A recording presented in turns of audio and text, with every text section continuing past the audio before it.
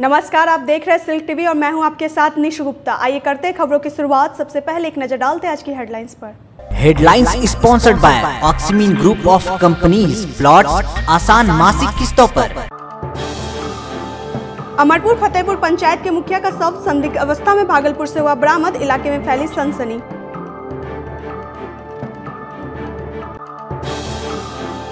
भागलपुर में तेज रफ्तार pickup van हुआ दुर्घटनाग्रस्त। गाड़ी में सवार दो युवक की हुई मौत, एक की हालत गंभीर।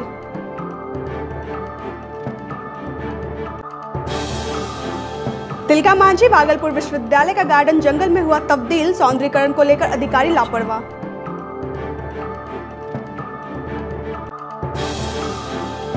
हिरोशिमा दिवस को लेकर गोष्ठी का हुआ आयोजन, युद्ध, हिंसा और वर्चस्व पर हुई चर्चा।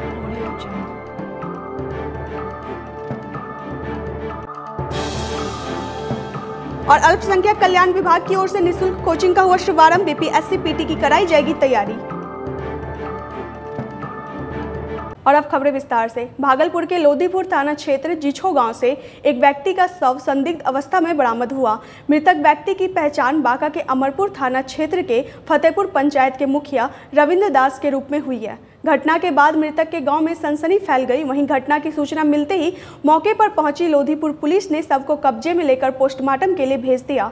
बताया जा रहा है कि मृतक मुखिया सोमवार की रात अपने अमरपुर स्थित घर से कुछ निजी कार्य के लिए भागलपुर आया था, लेकिन साजिश के तहत उसकी हत्या कर अपराधियों ने उसके शव को जीछो के समीप फेंक कर फरार हो गया। फ़िलहाल घटना के कारणों का अब तक पता नहीं चल पाया है। फ़िलहाल पुलिस घटना के हर बिंदु पर गहराई से जाँच कर रही है। वहीं अमरपुर स्थित मुखिया के घर पर लोगों की भीड़ उमड़ पड़ी है। भागलपुर के टीएनबी कॉलेज गेट के समीप सोमवार की देर रात अनियंत्रित पिकअप वैन सड़क किनारे दीवार से जा टकराया।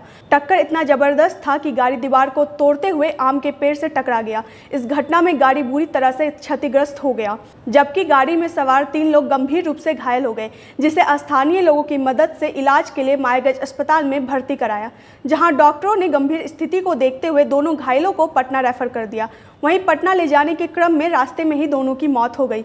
मृतक की पहचान हुसैनाबाद निवासी 30 वर्षीय फिरोज और 28 वर्षीय गोलू के रूप में हुई है, जबकि घायल खिरीवाद निवासी मोहम्मद राजन का इलाज मायागंज अस्पताल में चल रहा है। घटना को लेकर बताया जा रहा है कि पिकअप वैन भागलपुर से सुल्तानगंज की ओर जा रहा था। तेज रफ्तार होने के कारण चालक ने अपना संतुलन खो दिया, जिसके कारण यह हादसा हुआ। तिलका मांझी भागलपुर विश्वविद्यालय का प्रशासनिक भवन भले आपको बाहर से खूबसूरत दिखाई दे, लेकिन इसके कैंपस की वास्तविकता इसके विपरीत है। हालात यह है कि देश की आज़ादी के लिए लड़ने वाले शहीद तिलका मांझी की प्रतिमा को विश्वविद्यालय प्रशासन आज तक एक छतरी भी नहीं दे पाया है। स्वतंत्रता दिवस, गणतंत्र दिवस, विश्वविद्यालय स्थापना दिवस समारोह, तिलका मांझी की जयंती और पुण्यतिथि पर विश्वविद्यालय के अधिकारी और कर्मचारी पुष्प अर्पित कर बाबा तिलका मांझी को नमन तो कर लेते हैं, लेकिन इसके बाद नियमित रूप से प्रतिमा प्रतिमा की साफ़ सफ़ाई तक नहीं की जाती है। प्रशासनिक भवन के ठीक सामने गार्डन में बने प्रतिमा के ग्रिल पर पिछले कई दिनों से झाड़ी और घास उगाए हैं, लेकिन इस पर किसी अधिकारी की नज़र तक नहीं है। कैंपस में चारों तरफ़ लंबे लंबे घास उगे हैं और एक दर्जन से अधिक गमले इन घासों में ढक चुके हैं। जिन गमलों को कैंपस की सुंदरता बढ़ाने के लिए खरीदा गया था, आज उसकी ही दुर्दशा हो रही है। एक तरफ़ विश्वविद्यालय के कुलपति प्रोफेसर विभाष चंद्र झा कैंपस को सुसर्जित करने का निर्देश देते हैं, वहीं दूसरी तरफ़ इन निर्देशों का विश्वविद्यालय के अधिकारी कितना पालन करते हैं बताने के लिए गार्डन में उगी घास झाड़ियाँ काफ़ी है।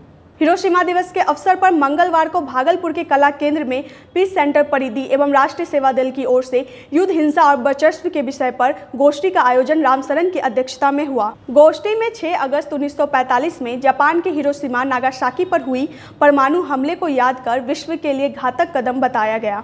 इस दौरान मौजूद विभिन्न सामाजिक संगठन के लोगों एवं बुद्धिजीवियों ने कहा, परमाणु बम पूरे विश्व के लिए विनाशकारी है और इसका दुरुपयोग करने से कई पीढ़ियाँ तबाह हो जाती है और तमाम विकास कार्य सदियों पीछे चला जाता है। साथ ही कहा, सभी देश इससे होने वाले नुकसान पर विचार कर इसकी होड़ में शामिल होने से बचे, तभी सही मायने में विकास और विश्व शांति कायम होगी।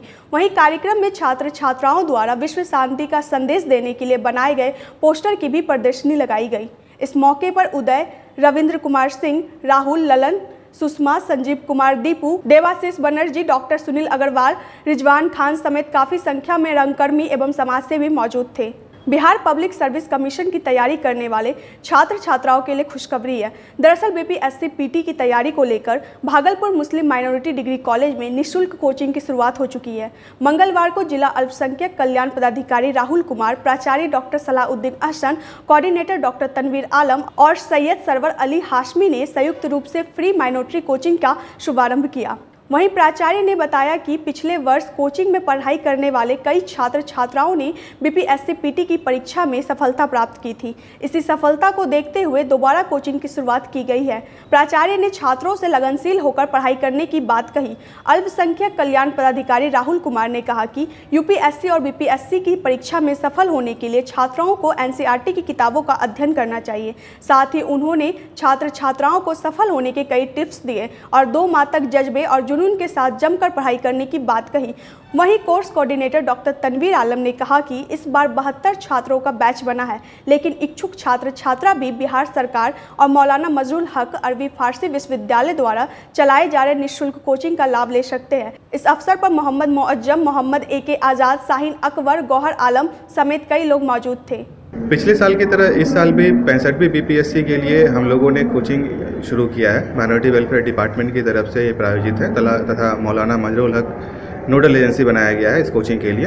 पैंसठवीं बीपीएससी के लिए टोटल बहत्तर बच्चों को स्क्रीनिंग टेस्ट के बाद सेलेक्ट किया गया है ताकि हम उनको सही तरीके से तैयारी करवा सकें उनके एग्ज़ाम के लिए। लेकिन इसके अलावा कुछ पुराने बैच के छात्र भी हैं, उनको भी यहाँ तैयारी करने के लिए परमिशन दे दी गई है।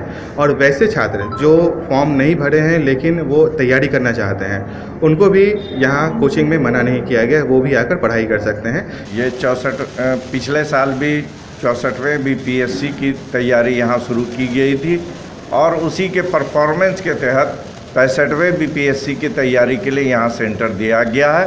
और लगभग 200 से ज़्यादा लड़के इस कंपटीशन में बैठे थे और उसमें 70 लड़के को मुझे लेना है। ऐसे छात्र जो माइनॉरिटी से नहीं आते हैं और वो पढ़ने की उनमें ललक है तो मैं वैसे लड़कों को भी इस कोचिंग में रखता हूँ इस सत्तर लड़के के बाद, ताकि वो भी अपने शहर का, अपने कॉलेज का अपने इलाके का नाम रोशन करें और उनका भी भविष्य सुधरे। कहलगांव अनुमंडल के सनौला प्रखंड स्थित बोरा पाठक डी पंचायत में नल जल योजना और एलईडी लाइट की जाँच करने मंगलवार को जिला पंचायती राज पदाधिकारी अपूर्व कुमार मधुकर सनौला पहुँचे, जहाँ डीपीआरओ ने 15 पंचायतों में हुए कार्यों की जाँच की। जाँच के दौरान वार्ड में किए गए कार्यों पर असंतोष व्यक्त करते हुए डीपीआरओ ने कहा कि मानक के अनुसार संवेदक के द्वारा कार्य नहीं किया गया। उन्होंने कहा कि खंबे पर लगे एलईडी लाइट की गुणवत्ता ठीक नहीं है उन्होंने इसकी रिपोर्ट वरीय अधिकारी को देने की बात कही। निरीक्षण के दौरान सनहौला बीडीओ अरविंद कुमार मुखिया जगत चौधरी समाज सेवी सुमन कुमार सिंह मौजूद थे। आज ये एलईडी लाइट और नल जल का जल थी। अच्छा अच्छा। नल जल में यहाँ पंद्रह वाट है बोरा पाठरी पंचायत में। हम्म। तेरह में जिसे दिया गया है एक कंप्लीट हुआ है। और मैं काफ़ी मार्जिनल मनी के लिए इनकम्प्लीट बचा हुआ है। तो अब इसके बाद यहाँ की हालत अच्छी तो नहीं है, लेकिन अभिकर्ता जो है, अभिकर्ता वो काम पूरा नहीं कर रहे हैं। वक्त हो चला एक छोटे से ब्रेक का, मिलते हैं ब्रेक के बाद, आप देखते रहिए silk TV.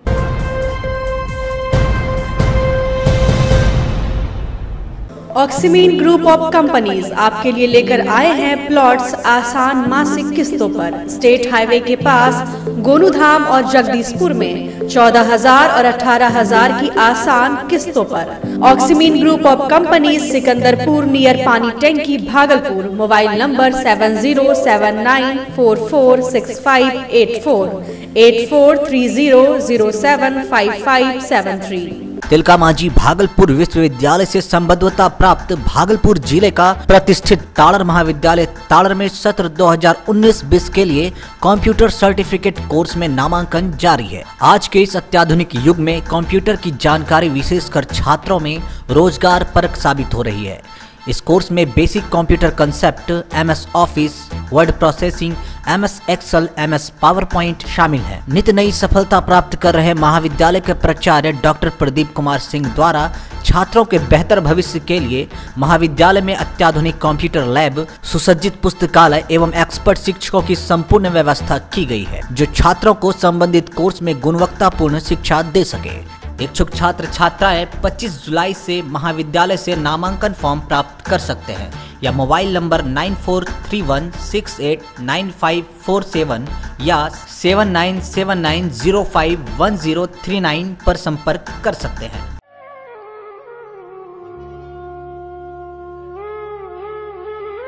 भागलपुर के कलगांव में श्री बाबा बटेश्वर नाथ महोत्सव का आयोजन किया जा रहा है। आप सभी श्रद्धालुओं से निवेदन है कि श्री बाबा बटेश्वर नाथ पहुँच कर आयोजन को सफल बनाएँ। अगर आपको ये वीडियो अच्छा लगे तो आप अधिक से अधिक लोगों को शेयर करें। धन्यवाद।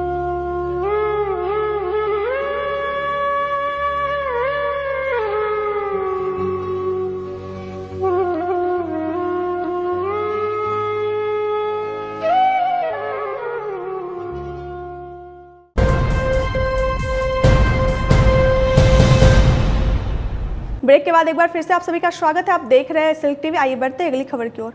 भागलपुर के मिश्रा टोला बड़ी खंजरपुर में कारगिल शहीद मिथिलेश पाठक के शहादत दिवस को लेकर मंगलवार को श्रद्धांजलि समारोह का आयोजन किया गया। समारोह में शहीद लांस नायक मिथिलेश पाठक के चित्र पर पुष्पांजलि अर्पित कर उनकी वीरता को याद किया गया। इस दौरान शहीद की पत्नी अर्चना देवी, पुत्र योगेश पाठक सलेश पाठक एवं भाजपा जिलाध्यक्ष रोहित पांडे समेत कई लोगों ने शहीद को श्रद्धांजलि दी और देश के लिए दिए गए बलिदान को याद किया। योगेश ने कहा कि 6 अगस्त उन्नीस सौ निन्यानवे को कारगिल युद्ध में सीमा पर छह घुसपैठियों को मार गिराया। शहादत दिवस को लेकर अखंड संकीर्तन का भी आयोजन किया गया। भागलपुर के रानी लक्ष्मीबाई चौक के समीप जोकसर थाना अध्यक्ष विश्वबंधु के नेतृत्व में वाहन चेकिंग अभियान चलाया गया। इस दौरान बिना हेलमेट एवं ट्रिपल लोडिंग वाले वाहनों को रोककर पुलिस ने ड्राइविंग लाइसेंस समेत कागजातों की जाँच की, जबकि बिना हेलमेट एवं ट्रिपल लोडिंग वालों का चालान काटकर सख्त हिदायत भी दी। चेकिंग अभियान के दौरान पुलिस ने सभी वाहन चालकों को ट्रैफ़िक रूल्स का पालन करने और अपनी सुरक्षा के लिए हेलमेट का उपयोग करने की बात कही। इलाज के दौरान मरीजों को होने वाली परेशानियों को देखते हुए नौगछिया अनुमंडल अस्पताल में अल्ट्रासाउंड मशीन लगाया गया, जिसका उद्घाटन मंगलवार को एसीएमओ डॉक्टर ए के झा ने फीता काटकर किया। मशीन के चालू हो जाने से प्रसव के लिए आने वाली महिला मरीजों को काफ़ी लाभ मिलेगा। उद्घाटन के दौरान अस्पताल में आए मरीजों में काफ़ी उत्साह देखा गया। इस मौके पर अस्पताल उपाधीक्षक अरुण कुमार सिन्हा डॉक्टर राकेश झा डॉक्टर ज्योत्सना झा सहित अस्पताल कर्मी एवं मरीज़ मौजूद थे। वन महोत्सव को लेकर मंगलवार को नरगा कोठी स्थित गणपत राय सलारपुरिया सरस्वती विद्या मंदिर परिसर में छात्र छात्राओं के द्वारा वृक्षारोपण किया गया। विद्यालय के प्रधानाचार्य रामजी प्रसाद सिन्हा ने कहा कि जल प्रदूषण, वायु प्रदूषण, भूमि प्रदूषण और ध्वनि प्रदूषण में लगातार वृद्धि हो रही है। यदि इस पर नियंत्रण नहीं किया गया तो इसका परिणाम भयानक होगा। उन्होंने कहा कि वृक्षारोपण पर्यावरण को संतुलित कर मानव के अस्तित्व की रक्षा के लिए आवश्यक है। इस मौके पर अशोक मिश्र, अभिमन्यु कुमार डॉक्टर वेद प्रकाश दीपक झा सहित शिक्षक एवं छात्र छात्राएँ मौजूद थे। भागलपुर के सुंदरवती महिला महाविद्यालय में मंगलवार को जूलॉजी डिपार्टमेंट की ओर से स्नातक अंतिम वर्ष की छात्राओं के लिए विदाई समारोह का आयोजन किया गया। समारोह में विभाग की छात्राओं ने सांस्कृतिक कार्यक्रम की प्रस्तुति देते हुए भविष्य के लिए शुभकामनाएँ भी दी। कॉलेज की प्राचार्य डॉक्टर अर्चना ठाकुर समेत कई शिक्षक शिक्षिकाओं ने जहाँ छात्राओं का मार्गदर्शन किया, वहीं छात्राओं को अपने सीनियर्स के सम्मान के साथ अपने लक्ष्य को प्राप्त करने के लिए सदा प्रयास करते रहने की बात कही। साथ ही नृत्य, गायन एवं मनोरंजक आयोजन के माध्यम से छात्राओं को अपने अंदर छिपी प्रतिभा को सामने लाने की बात कही। मंच का संचालन छात्रा अंकिता कुमारी एवं प्रज्ञा ने किया। इस दौरान नृत्य एवं गीत के साथ सामाजिक संदेश देने वाले कार्यक्रम की भी प्रस्तुति छात्राओं ने दी। इस मौके पर डॉक्टर मधुलिका सहाय, कुमारी प्रियंका, आरती वर्मा, मौसमी डे, दीपक कुमार वर्मा समेत काफ़ी संख्या में छात्राएँ मौजूद थी। बांका के पंजवारा में जर्जर हो चुके हाईटेंशन तार के टूटकर गिरने का सिलसिला लगातार जारी है। मंगलवार की सुबह अचानक ग्यारह हज़ार वोल्ट का तार टूटकर नीचे गिरा, जिससे ग्रामीणों में अफरा तफरी मच गई। ग्रामीणों ने कहा कि धरैया मुख्य मार्ग महादलित टोला के समीप हाईटेंशन तार काफ़ी नीचे से गुजरा है, जिसके कारण हमेशा भय बना रहता है, जबकि तार को दुरुस्त कराने के लिए कई बार बिजली विभाग के अधिकारियों को इसकी सूचना दी गई, लेकिन अब तक कोई कार्रवाई नहीं हुई। हम आपको बता दें कि जर्जर हो चुके हाईटेंशन तार की चपेट में आकर कई लोग अपनी जान गंवा चुके हैं। फिर भी विभाग इन हादसों से सबक नहीं ले रहा है। बांका के बाराहाट प्रखंड पंजवारा गाँव से 25 वर्षीय मुखबदिर युवक पिछले पाँच दिनों से गायब है, जिसको लेकर युवक के पिता रामजी मंडल ने बाराहाट थाने में आवेदन देकर अपने पुत्र की सौकुशल बरामदगी की गुहार लगाई है। बताया जा रहा है कि 2 अगस्त की सुबह सरवन शौच के लिए बहियार गया था, लेकिन वापस लौटकर नहीं आया, जिसके बाद परिजनों ने सरवन की काफ़ी खोजबीन की, लेकिन उसका कोई पता नहीं चल पाया है। परिजन किसी अनहोनी की आशंका से सहमे हुए हैं। चलते चलते फिर से एक नज़र डालते हैं आज की हेडलाइंस पर। Headlines sponsored by Oximin group of companies plot आसान मासिक किस्तों पर अमरपुर फतेहपुर पंचायत के मुखिया का शव संदिग्ध अवस्था में भागलपुर से हुआ बरामद इलाके में फैली सनसनी।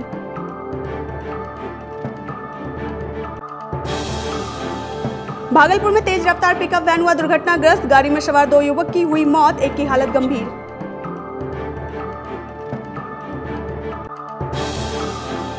तिलका मांझी भागलपुर विश्वविद्यालय का गार्डन जंगल में हुआ तब्दील, सौंदर्यकरण को लेकर अधिकारी लापरवाह।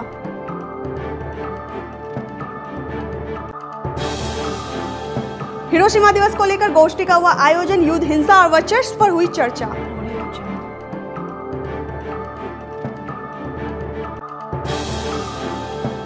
और अल्पसंख्यक कल्याण विभाग की ओर से निशुल्क कोचिंग का हुआ शुभारंभ, बीपीएससी, पीटी की कराई जाएगी तैयारी। फ़िलहाल इस बुलेटिन में इतना ही नमस्कार।